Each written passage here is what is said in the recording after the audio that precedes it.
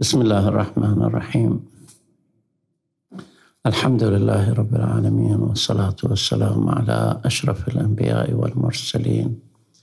حبيب إله العالمين سيدنا ونبينا أبي القاسم محمد. اللهم صل على محمد وآل محمد. وعلى الهداة الميامين من أهل بيته الطيبين الطاهرين لا سيما بقية الله في الأراضين. واللعنة الدائمة على أعدائهم أجمعين. لو قدر لنا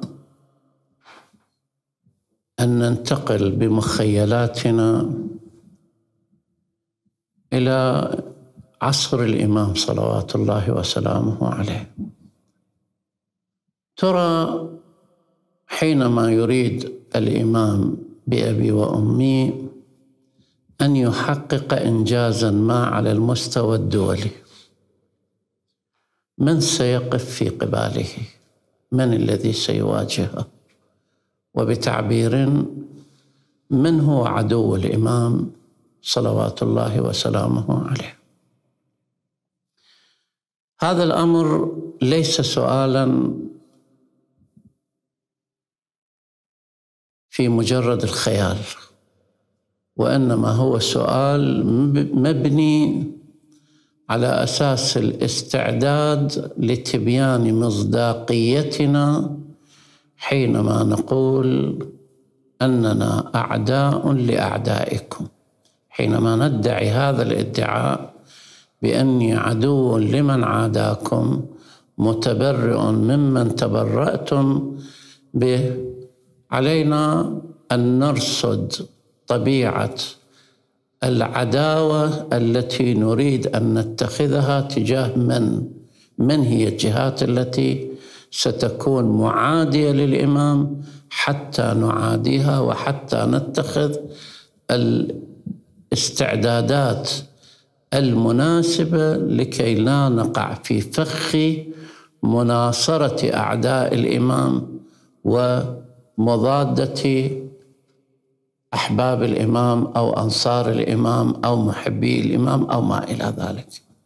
هذا التعهد لو أننا نظرنا إليه في المستقبل من دون أن تكون لدينا قاعدة أساسية للتعرف على العدو لا يمكن لتعهدنا هذا أن يأخذ المسار أو المصداق الجاد في التعامل مع قضية محورية هامة للغاية. نحن نتحدث عن أن نصرتي لكم معدة. هذه النصرة أيضا حينما لا أرى عدوي بشكل دقيق عندئذ ستكون النصرة غائمة تماما لأنه ليس من المعلوم أن قصة النصرة هي موجهة للإمام وليست موجهة لمضادة عدو الإمام بأبي وأمي.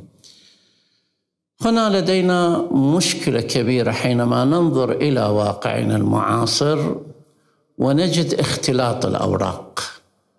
نجد أن المعايير في الكثير من الأحيان تقف خرساء أمام ضغط الواقع وأمام تقديراتنا للواقع. خاصة أن التقديرات للواقع ترتهن على انطباعات ذاتية. اليوم أمريكا على سبيل المثال ينظر إليها الكثيرين بناء على تقديراتهم للواقع بطريقة تختلف عما أنظر إليه أنا أو تنظر إليه أنت وقد يكون ما أنظر إليه أنا لا تتفق به معي. بسبب أن تقديرات الواقع كل واحد يأخذها من زاويته الخاصة. لكن لو اتحدنا على أن نرى العدو الحقيقي على وجهه الحقيقي عند ذلك لا يمكن أن نختلف في هذا الأمر بتاتا. كيف يمكن لنا أن نصل إلى أن نتعرف على العدو بصورته الحقيقية؟ القرآن الكريم أشار إلى أن الشيطان إبليس لعنة الله عليه هو العدو لكن عدو من أي طريق بأي شاكلة. هو عدو مضل مبين عدو مختفي لا يرى ويخفي عداوته ويظهر إلى الذين يوسوس لهم أنه يريد الخير لهم ويريد حالة البر بهم.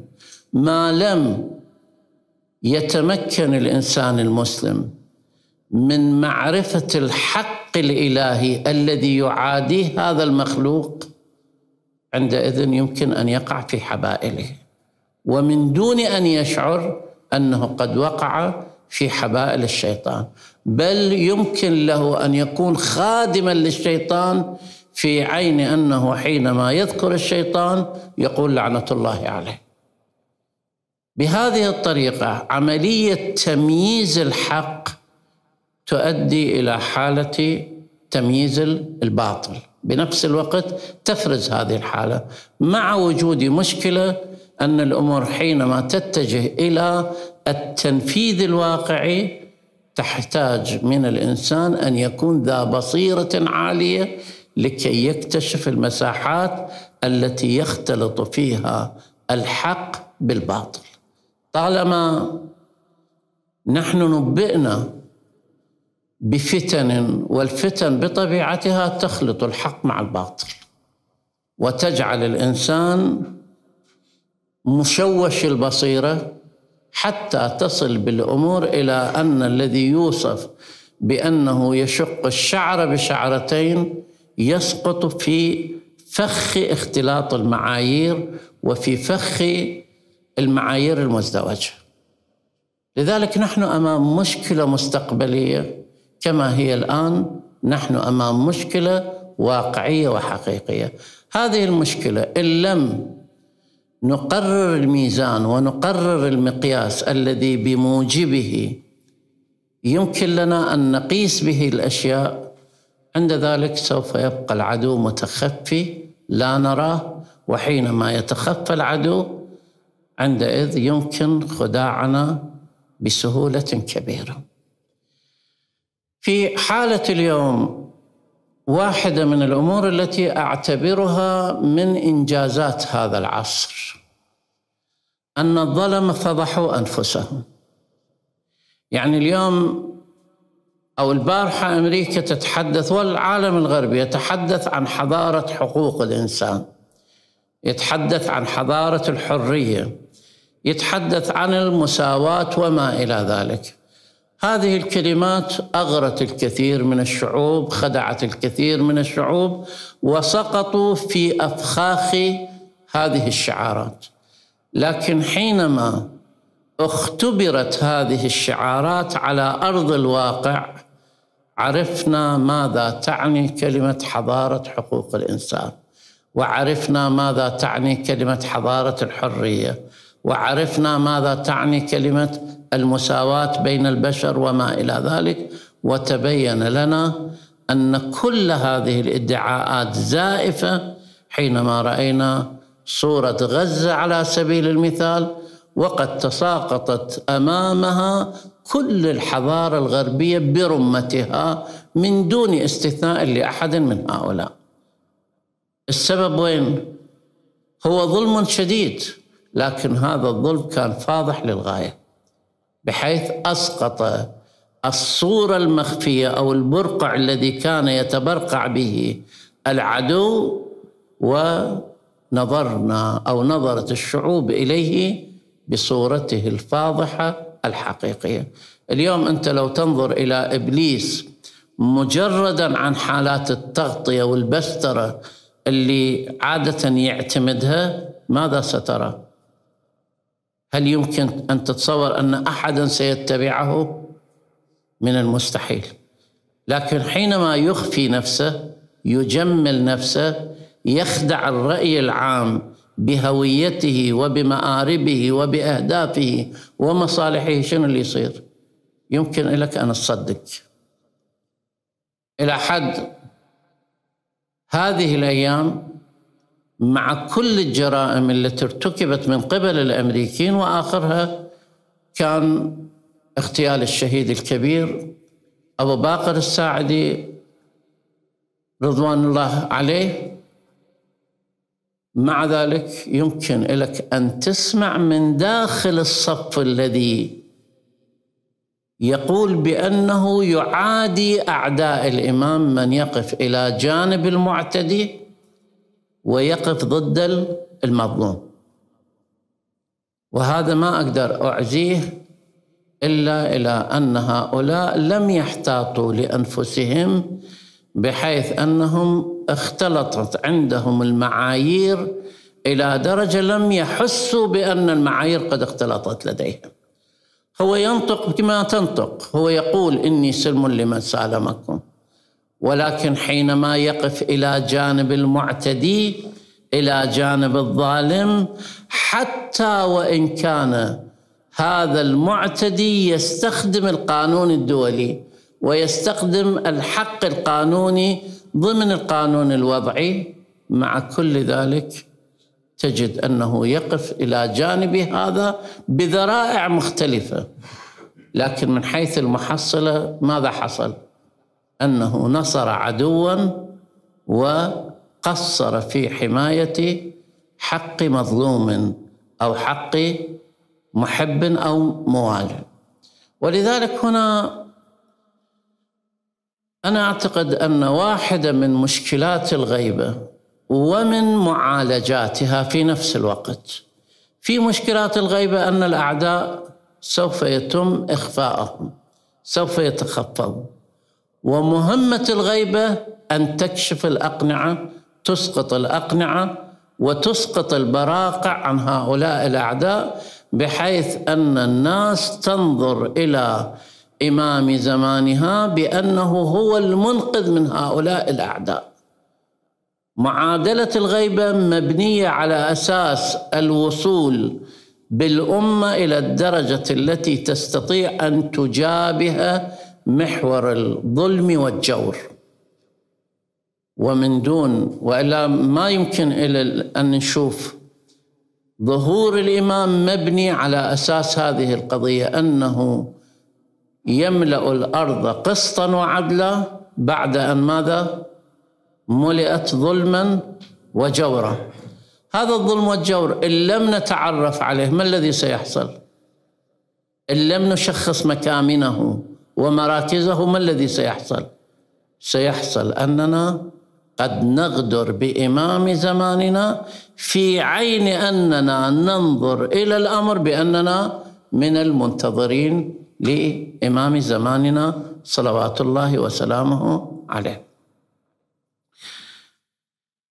أكو رواية عندنا مرت عليكم كثيرا نحن تحدثنا عنها مرارا. يتحدث بها الإمام الباقر عليه السلام يقول إن الله وقت لهذا الأمر في السبعين سبعين للهجرة ولكنكم أذعتم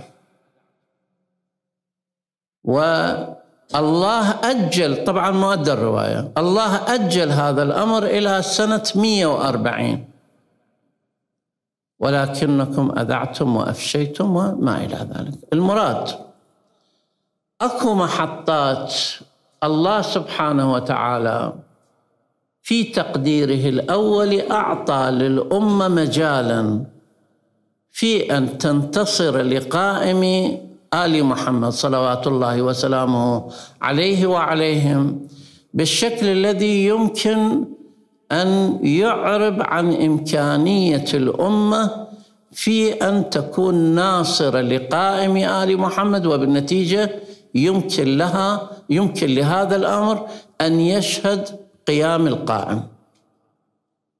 في سنة سبعين هذه السنة حينما تنظر إليها في بعدها التاريخي كان وضع بني أمية في أسوأ الحالات لكن حينما كانت قابليات الأمة ومؤهلاتها غير متكاملة شنو اللي حصل؟ حصل أن أجلت إلى سنة 140 ما قطع الأمل وإنما قيل للأمة افتراضا اذهبوا وأهلوا نفسكم. في سنة 140 جاءت فرصة هائلة جدا. الناس تنتفض على بني أمية وتريد الرضا من آل محمد. يعني الشعار المرفوع أن الناس يريدون الرضا من آل محمد. والإمام يقول أن الفرصة كانت سانحة. لكن حالة عدم البصيرة وحالة الاستعجال المبني على أساس عواطف الحماس وليس على أساس ركائز السلوك وركائز القيم. أدى بالنتيجة إلى أن هذه الفرصة العظيمة التي أوتيت ذهبت من الأيدي لتأتي غصة هائلة جدا نجم عنها أن أئمتنا من الإمام الصادق صلوات الله وسلامه عليه اللي كان يفترض أن في زمنه تكون هذه الفرصة أدت متطلبات قيام القائم. تحولت إلى غصة من الإمام الصادق إلى غيبة الإمام. كانت نتيجة لتفويت هذه الفرصة التي سنحت وهذه الفرصة ما فاتت إذ فاتت إلا بسبب قضيتين. القضية الأولى أن الموالي لم يعد العدة بالشكل الذي يتناسب مع حجم المسؤولية ومع حجم المهمة وأيضا العدو لم يكن غافلا وأعانه الموالي حينما كشف عن عدم قابلياته وعن عدم وجود مؤهلاته. أعان الظالم في عين أنه كان يدعي بأنه يريد إعانة الحق. واحدة من هذه الأمور الأساسية أن العدو كان يتماهى، كان خفيا أمام هؤلاء، لم يكونوا يعرفون حقيقة الصراع والقضية في أحسن الأحوال عند الكثيرين من هؤلاء أن هناك نزاع ما بين أولاد العم في بني هاشم. هذا يريد السلطة وذاك يريد السلطة وما لنا والسلاطين. اليوم نفس القضية تقدم بطرق مختلفة لكن تؤدي نفس المؤدى. أن هذا الصراع بين الدولة الفلانية والدولة الفلانية صراع بين المجموعة الفلانية والمجموعة الفلانية وما إلى ذلك وهؤلاء حينما يتصارعون يريدون مصالحهم الخاصة. النتيجة شنو؟ العدو يأخذ مأخذه والصديق أو الحليف أو الموالي يطاح به أو أن يظلم ولا ينصره من يجب عليه نصرته. في الجريمة الأخيرة اللي ارتكبها الأمريكيين من الواضح جدا أن البعض سقط في هذا الفخ كما سقطوا من قبل في قصة استشهاد الحاج قاسم رحمة الله عليه قصة استشهاد أبو مهدي المهندس قصة استشهاد أبو تقوى وأمثال هؤلاء الأفذاذ. دوما كانت القصة عند الكثير من هؤلاء أنهم يقنعون بمبرر العدو ويقفون إلى جنب العدو بذرائع مختلفة. حتى لو أنه قال من الصباح إلى الليل لعن الله أمريكا. لكن على المستوى الموقف العملي هو يقف في نفس الخندق الذي تقف فيه أمريكا. خطورة هذا الأمر تتجلى لو أننا انتقلنا إلى ماذا؟ إلى أن يكون أن نكون في عصر الإمام والإمام يبدأ حربه وعند الحروب تمتاز الأعداء من الحلفاء. بعد يتبين بعد الجبهة هذه وذيك. من لا يفقه عملية التمييز ما بين المواقف وما بين المواقع لا شك ولا ريب أنه سيكون على خطر كبير جدا في هذه القضية. وإلا تعال انظر إلى قصة الأبدال اللي تطرح في بعض الروايات لا اتحدث عن أنها قصة حقيقية موثوقة أو ما إلى ذلك لكن كافتراض أن بعض الروايات تشير إلى أن جيش السفياني حينما يلتقي بجيش الإمام بأبي وأمي سيخرج قسم من جيش الإمام وينتقلون إلى ماذا؟ إلى جيش السفياني. والعكس صحيح أيضا. هذه الحادثة لو كانت صحيحة وأعود وأقول لم أحقق في طبيعة الرواية ولكن القدر المتيقن أنها لو كانت صحيحة تشير إلى أن البصيرة عند البعض ستكون مغلقة فيما البعض الآخر ستتفتح بصائرهم. من ينتقل إلى جيش السفياني لأي سبب من الأسباب إنما ينعى على بصيرته بأنها ماتت وفقدت. ومن ينتقل ولأي سبب من الأسباب من جيش سفيان إلى جيش الإمام هو ينتقل بهذا الاتجاه. اليوم أنت إذا رحت إلى الكثير من الناس وسألت من هم أعداء الإمام راح يجاوبك أجوبة في الغالب تحكي عن سذاجة كبيرة جدا. لا شك المنافق عدو. لا شك أن الذي يتخلف عن النصرة يقف في صف الأعداء. هذا ما بي شك. لكن أنت من تتحدث عن معركة حضارية هائلة إذا ما تخلي العدو متناسب مع هذه المعركة أنت لا تعرف العدو أبدا. ليش تصير المعركة حضارية كبرى؟ لأن الكبار في الطرف الآخر هم النقيض. لو أنت تريد يعني تعارض قوى صغيرة جدا أو قوى لا تأثير لها في عالم التغييرات العالمية الكبرى بذاك الوقت ما يقال لك أنه أنت جاي تخوض معارك كبرى. وإنما هناك العدو الأكبر الذي يمثل جبهة الظلم والجور. الذي يمثل رأس جبهة الظلم والجور في الغالب من الأحيان تجده مفقودا في تعريفات هؤلاء. وهذا واحدة من المشاكل التي يفترض بها أن تعالج أن تعالج في فترة الغيبة وواحدة من مهام الغيبة أنها تكشف وجوه الأعداء. وتفرز العدو من الصديق وتفسح المجال للإنسان أن يغير من مواقفه استدراكا وتداركا لحسن العاقبة أو طلبا لحسن العاقبة. اليوم إحنا في واقعنا لما تنظر إلى عموم الساحة وتشوف أن الساحات التي أشير إليها في رواياتنا هي الأكثر سخونة في العالم. المعارك اللي أشير إلها في رواياتنا عن علائم الظهور ليس من الصدفة أن تتطابق مع طبيعة السخونة الموجودة في ساحتنا المعاصرة. لا شك أنه لا أريد أن أسقط هذه على تلك لكن لابد من النظر بمقاربة.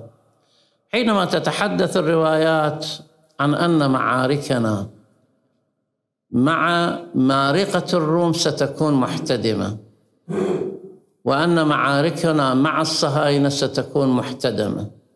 وأن الأتراك سيفعلون كذا وكذا وأن الشام سوف يجري فيها الموضوع الفلاني والفلاني وأن أهل المشرق سيفعلون كذا وكذا وأن أهل العراق سوف يصابون بالأمر الفلاني وال...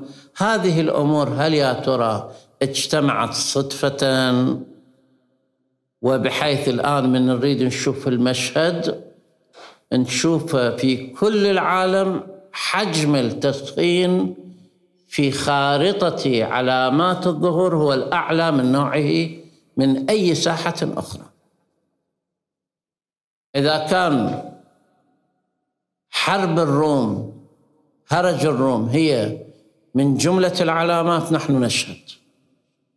إذا كان ضعف الصهاينة وما يترتب على ضعفهم من جرائم ومن مظالم وما إلى ذلك نحن نشهد هذه الحالة. إذا كان الأمريكيين يقبلون على المنطقة متذرعين بذرائع متعددة هذه الحالة أمامنا. إذا كان إذا كان كل هذه هل يا ترى أنها اجتمعت صدفة؟ أو أن هذا الاجتماع جاء من فراغ؟ أم أن أمرا يوجب علينا الانتباه حتى لو لو لم نؤمن بكل علامات الظهور؟ هؤلاء ما جاءوا ليلعبوا وما جاءوا وما حصل الأمر الذي يحصل بناء على لعبة من ألاعيب السياسة الساذجة، نحن نشهد تغيرات كبرى في العالم وهذه التغيرات تصب مباشرة في طبيعة المعركة التي آلينا على أنفسنا أن تكون نصرتنا معدة لأصحاب هذه المعركة. كم من مرة ومرة عاهدتم الإمام صلوات الله وسلامه عليه وقلتم له بأن نصرتنا لكم معدة. كم من مرة تحدثنا بمنطق أننا معكم لا مع عدوكم. اليوم من الحق لما نشوف اضطراب المعايير من الحق أن نفتش عن أقدامنا. معكم معكم لا مع عدوكم. إيش قد لها مصداقية في وضعنا في مواقفنا في فكرنا في رؤانا في تقييمنا للأمور. راح أضرب مثال بسيط. وأتمنى على الأخوان أن يدققون في مثل هذه الأمثلة. قبل قصة سبعة أكتوبر كانت الهجمة المثلية إيش قد حجمها؟ هائلة لو مو هائلة؟ على المستوى الدولي على مستوى المنطقة على مستوى العراق إيش قد كانت؟ هجمة شديدة لو مو شديدة؟ إيش معنى اختفت دفعة واحدة من صار السبعة أكتوبر؟ شنو اللي صار؟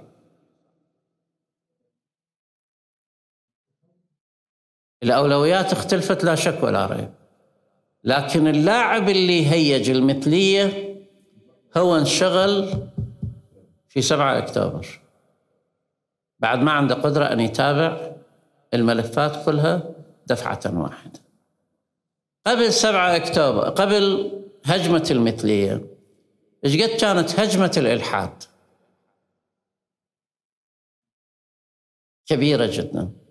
ليش دفعة واحدة؟ الإلحاد راح إجت المثلية. راحت المثلية إجت سبعة أكتوبر. هذا يبين لنا حقيقتين. كل إجرام يحصل على بنانا هي من عدو واحد. هو الذي يؤسس إلى كل هذه المظالم.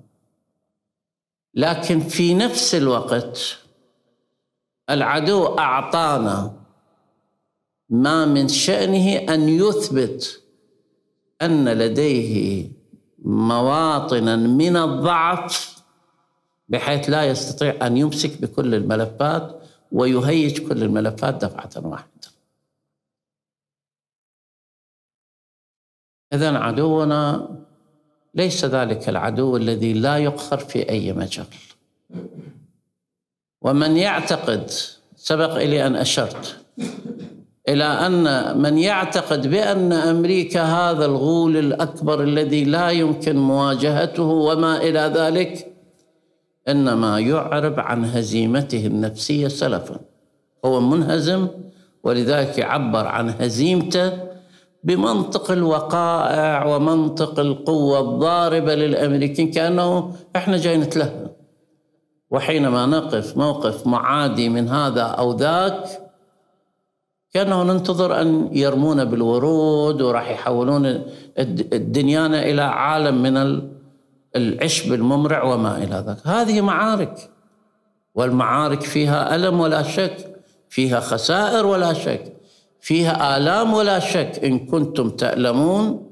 هذا منطق القرآن. أيضا مثل ما أنت تتألم هو أيضا يتألم. وكونوا واثقين أن هؤلاء لو لم يكونوا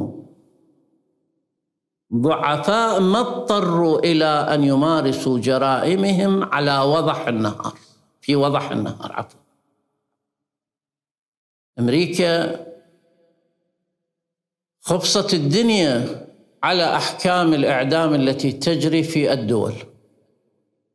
أي دولة تمارس قانونها بحكم الإعدام أمريكا معترضة وتضغط وارفعوا هذا الحكم وما إلى ذلك. الآن اللي سوته في شارع فلسطين شنو كان؟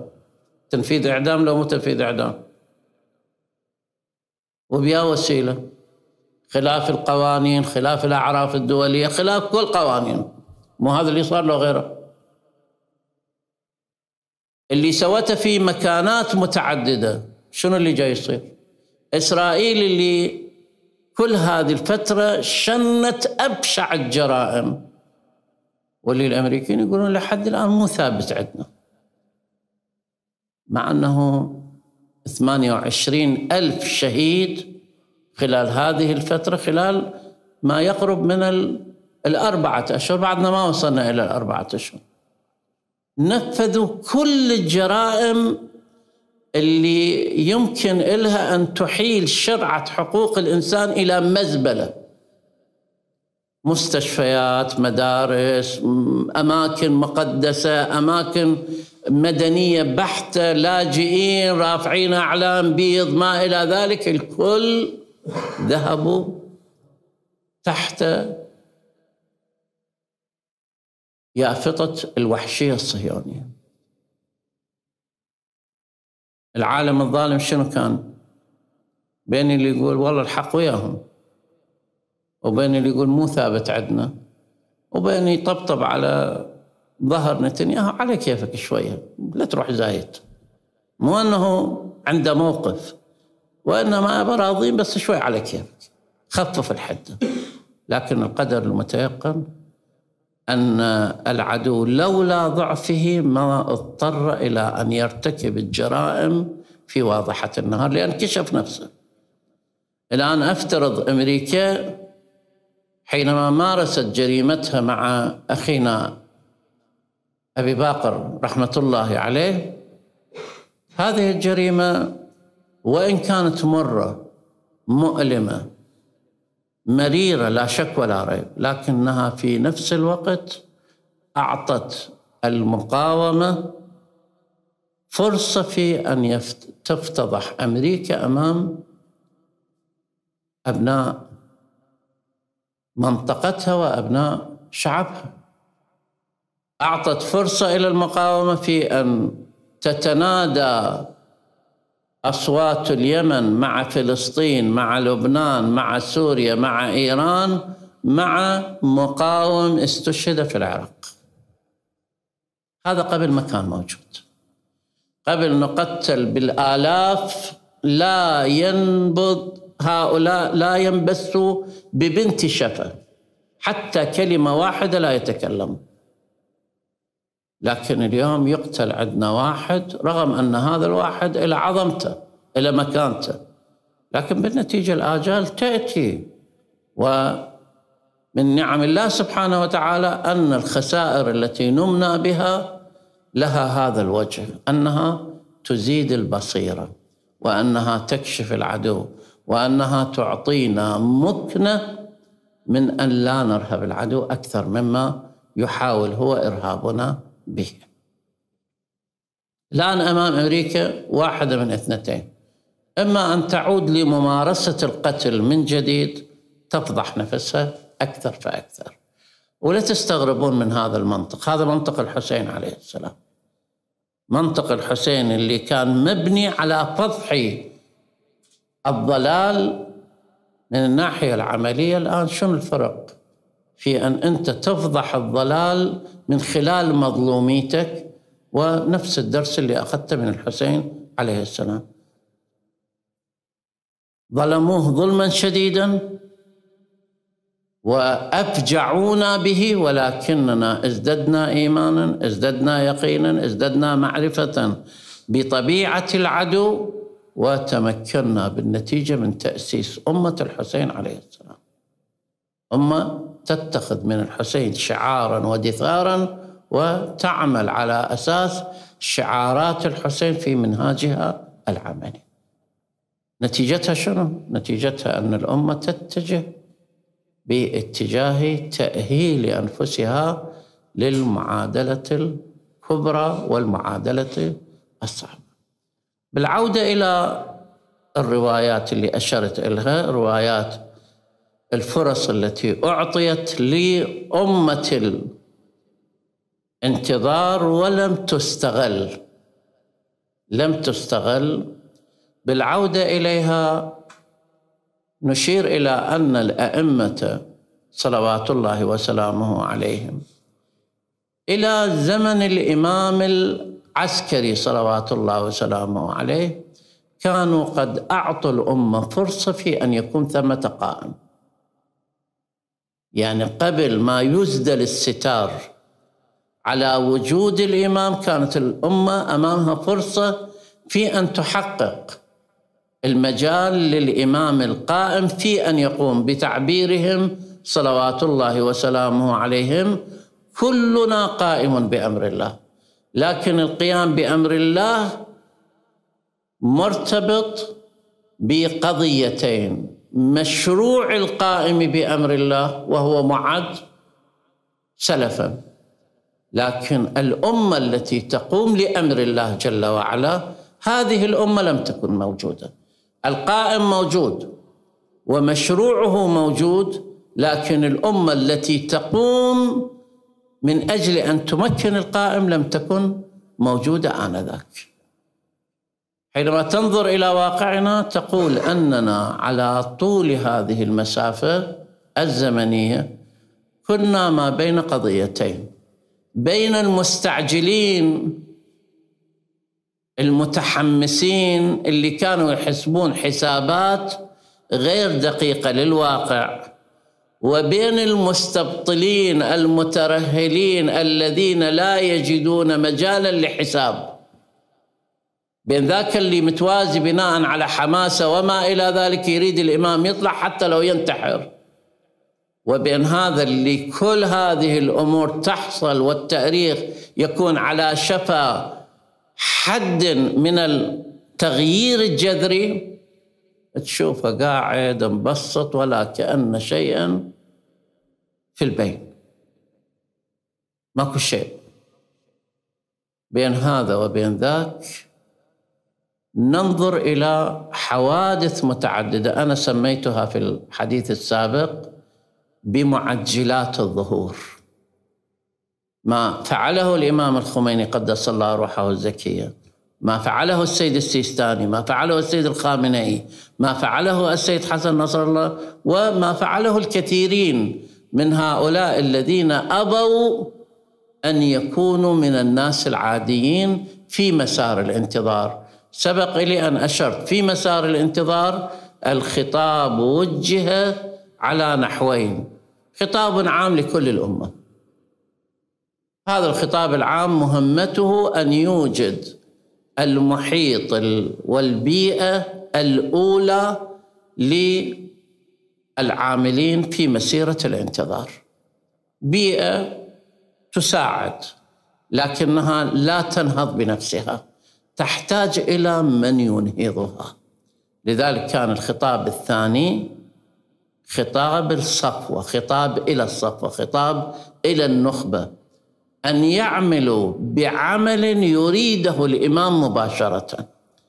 ليش؟ لأنه هذا العمل يمكن له أن يؤمن من هذه البيئة أعدادا مهمة وأساسية لعملية إيجاد الأعوان خاصة وأننا سبق أن أشرنا إلى أن مشكلة الغيبة كامنة وين؟ في عدم وجود الأعوان. وإن وجدوا فلا تأهيل لهم ولا قابليات لهم. وإن كان لهم تأهيل وقابلية لا يوجد لديهم اقتدار. وهذن واحدة مرتبطة بالأخرى. لكن لو لم يكن لهؤلاء الأفذاذ حينما سمعوا النداء الخاص ليعدن أحدكم سهما ولو سهم واحد. لنصرة الإمام هؤلاء أخذوا هذه الرواية واعتبروها ملاكا ذهبوا يعدون وذهبوا يهيئون وذهبوا يهيجون ما من شأنه أن تخرج البيئة العامة من طور المسار الاعتيادي آه، الروتيني إلى أن يتحول إلى قصة حيوية فاعلة وذات أثر نوعي. إحنا العام الماضي كان عندنا زوار إلى الإمام الكاظم عليه السلام ما يقرب حوالي سبع ملايين إنسان. هذه السنة عندنا 13 مليون ماذا تنبئكم هذه القضية؟ ماذا تعرب لكم؟ زيارة الأربعين وين كانت؟ وكيف أصبحت؟ ماذا تعني؟ لا شك ولا ريب أن البيئة توسعت. البيئة العامة أو الأرضية اللي يتحرك عليها المنتظر لا شك ولا ريب أنها توسعت. لكن القدر المتيقن أننا في داخل هذه البيئة العامة وجدنا من يقاتل من أجل تحسين هذه البيئة ورفع مستواها التوعوي ورفع مستواها وقابلياتها تجاه المخاطر التي تحيق بهم. شنو اللي راح يصير؟ راح يصير أن رجلا فقيرا جالسا في زقاق من أزقة النجف يستطيع بسطرين أن يقلب عاليها على سافلها. من وين؟ من هذه البيئة. البيئة العامة لكن في داخلها أكو من تصدى مباشرة لتحويل هذا الكم إلى نوع. من زقاق في قوم خرج ذلك الرجل الفقير. من زقاق في منطقة الحويش إلى جنب مسجد الترك في النجف خرج الإمام الخميني وهو لا يمتلك إلا عباءته. ما يمتلك شيء لكن يمتلك فكرا ويمتلك بصيرة ويمتلك شعبا آمن بقدرته على أن يسحق الباطل. ما الذي حصل؟ عجلوا في فرج الإمام بأبي وأمي بنقلات نوعية كبرى. ولذلك هنا أنا أنا أنبه الإمام صحيح أن له وقت محدد من قبل الله سبحانه وتعالى. لا شك ولا ريب. لكن هل أن هذا الوقت وقت نحن مجبرون عليه أم أنه قابل لأن يتحرك إلى الأمام أو يتأخر إلى الخلف؟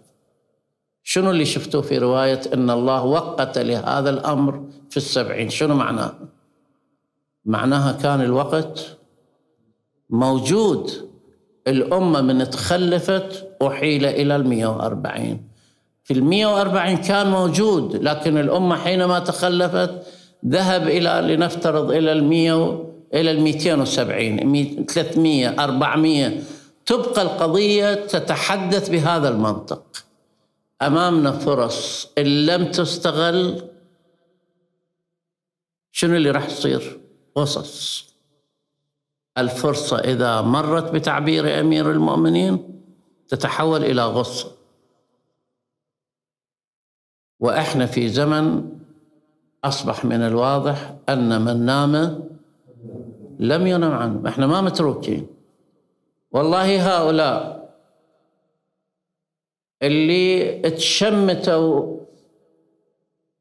بشهادة أبو باقر الساعد وسبق لهم أن تشمتوا بشهادة أبو تقوى وبشهداء القائم وببقية الشهداء الأبرار.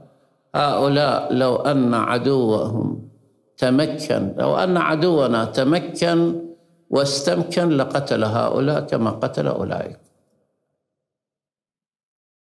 هؤلاء حمقى لا يعرفون أن العدو ينظر إلى الجميع بعنوانها رؤوس أينعت وحان قطافها. شنو الفرق بين أمريكا والحجاج؟ إحنا باقين متسمرين على الأمثلة التاريخية من دون أن ننظر إلى واقعنا. كم حجاج لدينا؟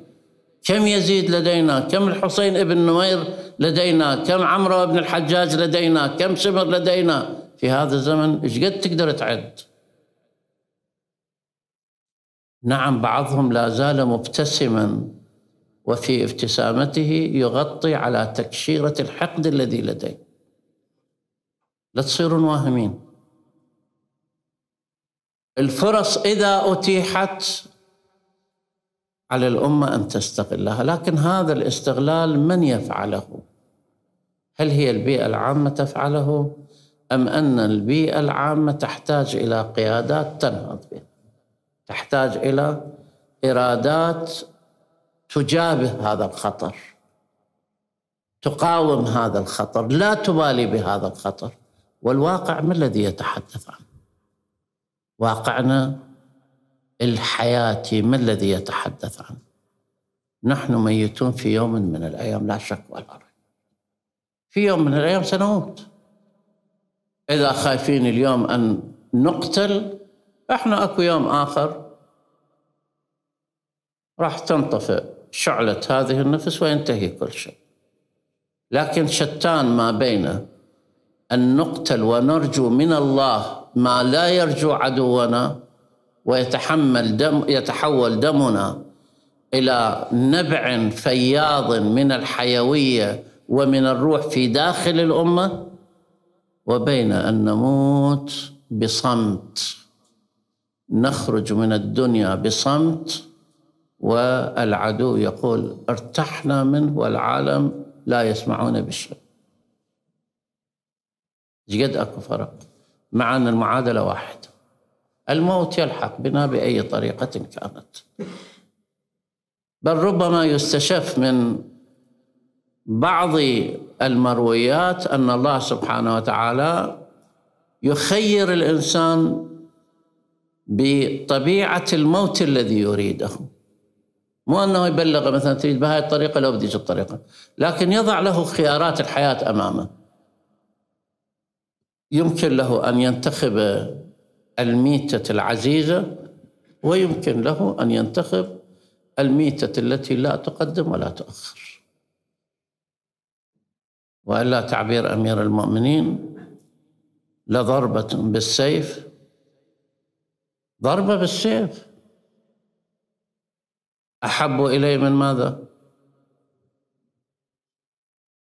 هذه المقارنة لا نبقى إحنا نضربها كأمثال إذا ما نحولها إلى واقع حياة نعيشه ما يمكن إلى هذه الأمثال أن تكون مؤثرة في حياتنا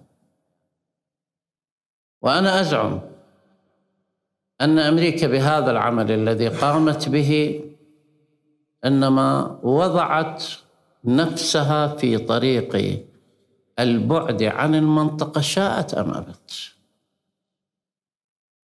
ولا تعالوا فكروا مرة أخرى بمشروع السفياني وقد سبق لنا أن قلنا بأن هذا المشروع مبني على أساس مؤامرة تجري من الغرب لاستعادة العراق. مو استعادة سوريا استعادة العراق. أصل المشروع والرواية واضحة جدا لا يكون له همة إلا الإقبال على العراق استعادة العراق من أيدي من؟ معناها ذهبت من أياديهم ليش يريدون يستعيدوا؟ يتآمرون في دولة أخرى من أجل المجيء بجيش آخر لاستعادة نفوذهم معناها يمكن لمثل هذه الروايات أن تتحدث بهذا المنطق بل رواية عوف السلمي هي الأخرى تحدث عن أن هذه المؤامرات سوف تبقى تستمر وسوف يحاول البعض إيجاد هذا الشرخ بين سوريا والعراق من هو هذا البعض؟ من الذي سيؤجج ذلك؟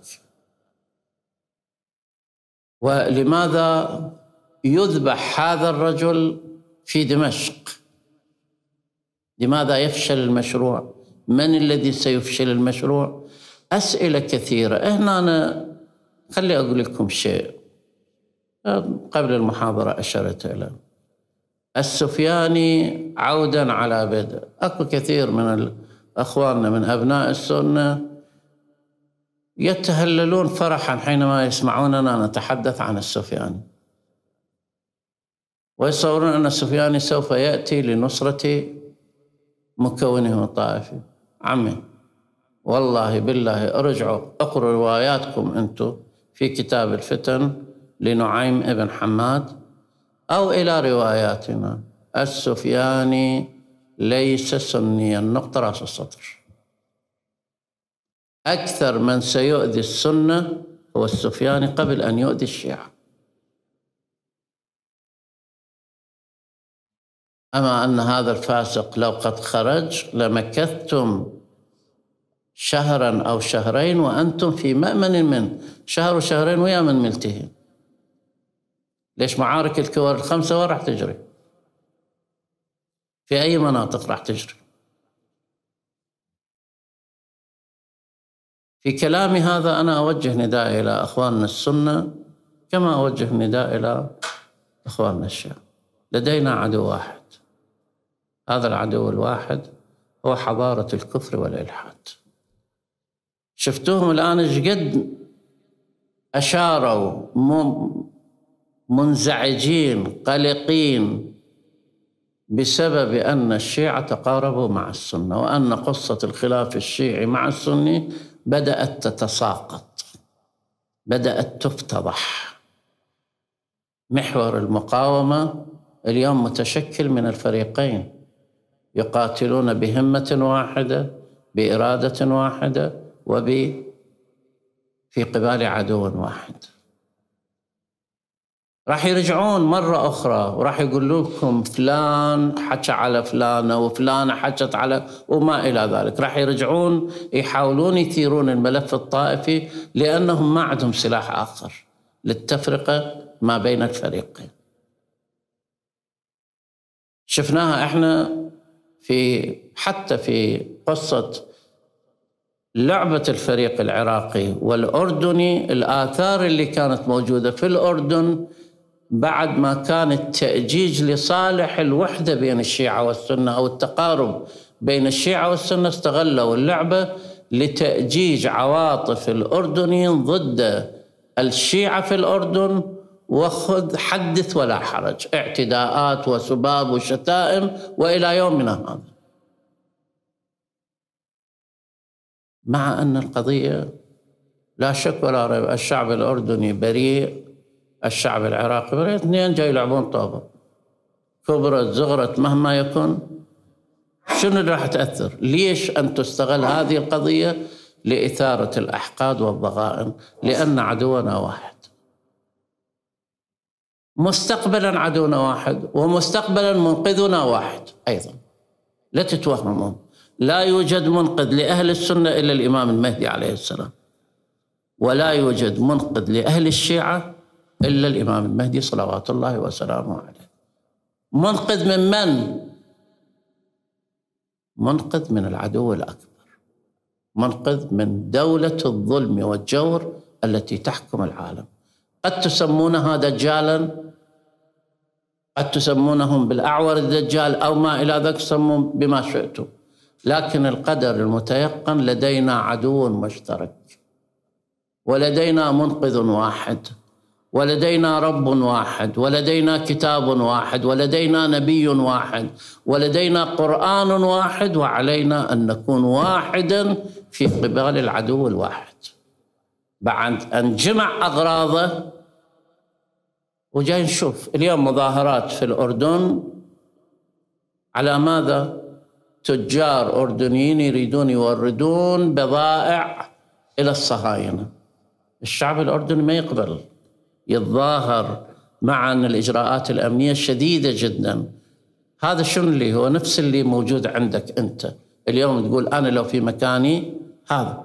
لكن هذا العدو اليوم ما ألب الإمارات والسعودية والأردن من أجل أن تكون طريق المحاصيل وطريق التوريد إلى الصهاينة تأتي عبر دولهم. بعد أن استطاع محور المقاومة أن يقطع روافد في حركتهم لو لا. هذه ليش ما تقرأ بطريقة طبيعية يا اخواننا الأعزاء؟ والله القصة لا شيعة ولا سنة أنتم متوهمين. القصة أن عدو يريد رؤوسنا جميعا يريد أن يستولي على كل شيء. ليش الفلسطينيين شنو شيعة؟ ليش الحوثيين سنة؟ ليش حزب الله السني مثلا؟ لو الجهاد الإسلامي شيعة لو الحماس شيعة هؤلاء كلهم اتفقوا على أن ثمة عدو واحد. ووقفوا وقفة الرجل الواحد يعين أحدهم الآخر. إن لم نذهب بهذا الاتجاه سيبقى عدونا مرتاحا. لكن لو اتحدت الكلمة واتحد الموقف سوف يفتضح العدو. عند ذلك حينما يتضح العدو ستكون المهمة سهلة جدا. اليوم مطالبات كثيرة عندنا من قبل الناس بضرورة إخراج الأمريكيين من العراق. طبعا لا شك ولا ريب الأنظمة السياسية لها حكمها وإلها ظروفها. لكن على الشعب أن يكون له قراره وأن يتحد في هذا القرار. ما لها معنى؟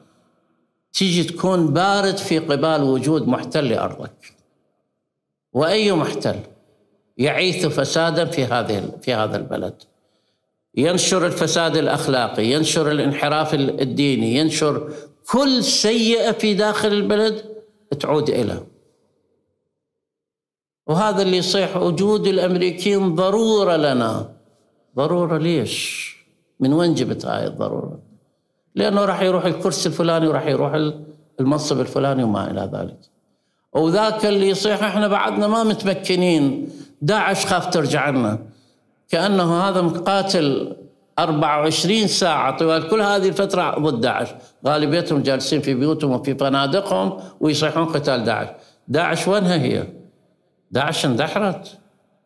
أرادوا يريدون يحولوها مرة أخرى إلى بعبع. خلي يتقدموا بسم الله. الأيادي اللي قاتلت لا زالت والفتوى اللي صدرت لا زالت والسلاح اللي قاتلهم لا زال.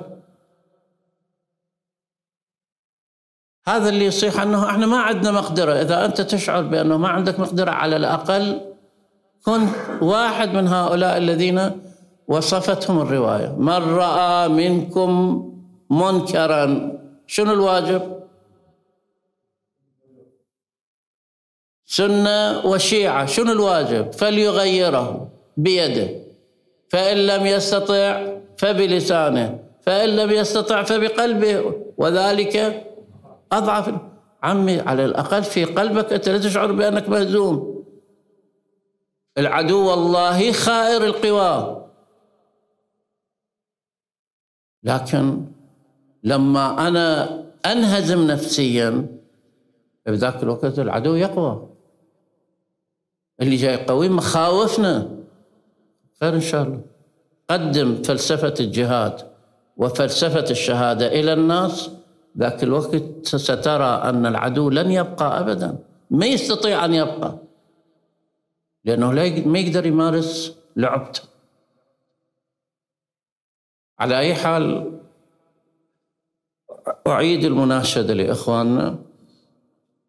أعيد النظر في طبيعة معرفة العدو. معرفة العدو أساس النصر في أي معركة. إذا ما تعرف عدوك ما تقدر تنتصر على أحد. معرفة العدو أخرجوها من النمط التاريخي وحولوها إلى أرض الواقع. النمط التاريخي من سقيفتها إلى أمويها إلى عباسيها وما إلى ذلك. ذولا ولوا. نعم أكو لهم امتدادات بلا أكو امتدادات لكن مو هم القوة الرئيسية. القوة الرئيسية الآن متمثلة بحضارة الظلم والجور بحضارة الكفر والطغيان. هذه الحضارة إذا ما سقطت كل هذه الزعانف سوف يأتون ويؤدون التحية. أما إذا بقينا نخاف من هذا وذاك ونقول هذا عدو ذاك مو عدو بذاك الوقت للأسف الشديد مسيرة الظلم ستستمر والظهور الشريف سيتأخر والتعجيل لن يحصل. بينما مسار الأحداث يعطينا فرصة لأول مرة تحصل في أننا نقدر على هزيمة هؤلاء ونقدر على أن نقدم للفرج التعجيل الذي يريده. وإلا لو لم نكن قادرين على ذلك لما رأينا رواية أهل المشرق الذين سيحملون سيضعون سيوفهم على عواتقهم ويستمرون في هذه المعادلة إلى أن يؤدوها إلى الإمام. وعند ذلك فرجوا الناس في رواية وفرج آل محمد في رواية وفرج شيعة آل محمد في رواية ثالثة. هذا الفرج هذا الفرج هو المعنى الموضوعي لكلمة النصر أن تنتصر على هؤلاء. كيف يتحقق؟ بإرادة مقاومة وضع السيوف على العواتق افتهموها. مو أنه والله أنا شلت السيف وخليت على عاتقي خلاص أنا حققت بيها قتلاهم شهداء وبيها إشعال لدار تستمر كذا يوم وما إلى ذلك. هذه القضية تحتاج إلى وقفة واحدة ولا تعير بالا إلى الآلام. الآلام ثمن طبيعي لنهضة الأمم لكن أعير بالا لعدم بقاء الظالم لأن الظالم لو بقي سيكثر الآلام وسيضاعف الآلام وستفرز لكم آلاما جديدة أسأل الله سبحانه وتعالى أن ينجينا من شرور هؤلاء وأن ينقذ بلادنا من أمم الكفر والطغيان أمريكا الصهاينة البريطانيين. كل هؤلاء وحلفائهم من أعراب المنطقة وغيرها. أسأل الله أن يرينا فيهم اليوم الذي نسعد بذلتهم وباستحقار العالم لهم.